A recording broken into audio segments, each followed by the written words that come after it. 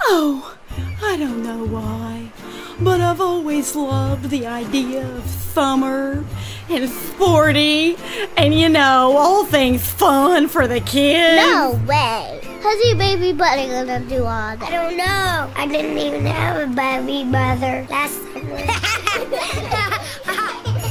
Sometimes I like to close my eyes and imagine what it would be like when summer Sunday nights begins. what? Bees will buzz and kids will blow dandelion fuzz, and I'll do whatever babies do in summer. Dude, you can't even walk.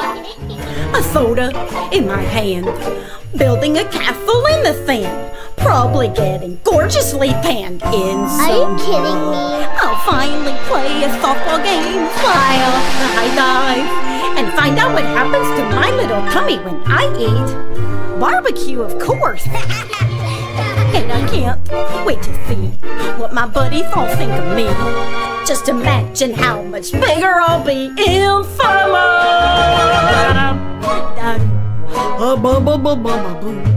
The young and the old together make sense that Sunday summer nights it will be intense. Each day in the summer will be busy. Maybe put me in the summer and I'll be a tabernacle family. When life gets rough, you can hold on to your dreams of relaxing in the summer sun, just letting off steam.